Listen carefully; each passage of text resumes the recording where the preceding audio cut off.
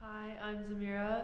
So a few years ago, um, my house burnt down in the Paradise Campfire, um, and right after we saw the rubble of our home, we were driving through town, and I saw this mural on the side of a burnt out van, and like suddenly I started tearing up, and that was significant because I had just seen the rubble in my home and didn't feel like I could really process any of it, and I hadn't like cried or anything yet. I just was kind of in shock, and so um, the tears that I had were actually like tears of hope, and instead of like something that was devastating, I was able to see something that was beautiful in the midst of all this um, wreckage and like burnt out buildings and stuff from my town. And so that was really cool. And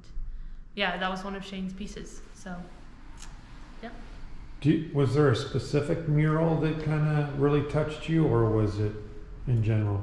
it was just in general, it was just a mural um, of like a girl's face on the side of a van.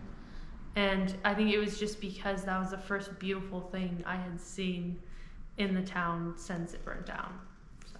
That is so cool. That mural was called Unexpected Hope. Oh, that's wild. Yeah.